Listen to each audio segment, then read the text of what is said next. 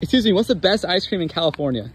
Ooh, probably Handel's. No, no, no, I would say Moo Time. You should definitely go. Wait, no, guys, actually, there's an event going on with 20 different ice cream shops. You guys should check it out. This is now day 41 of the boys and I going to every state hoping to find the best ice cream in America. Here's our top five so far, and today we're going to an ice cream festival. So naturally, the boys and I are getting pretty excited to try all the local shops. The question is, will we find one that breaks into the top five? I think it's your best flavor. Um, Okay, we'll do one of the, I'll do one of the banana. With one shop down, we still had more than 20 to go. Our goal, find the best shop here and rank it. So the boys and I began running around trying as many as we possibly could. Each stand had their own unique style, with some notable ones being Cali Cream serving mini bazookies, and Cabeto's Pops with these ice cream bars. But after a few too many taste tests, we narrowed it down to two. We're doing a final face-off between Sunny Scoops and Stella's. We ultimately went with Stella's because of their freshness, texture, and their churro flavor was awesome. Overall, this festival was super fun and all money was raised for a local food bank. Definitely a 10 out of 10 event, but we'll rank Stella's an 8.6 out of 10.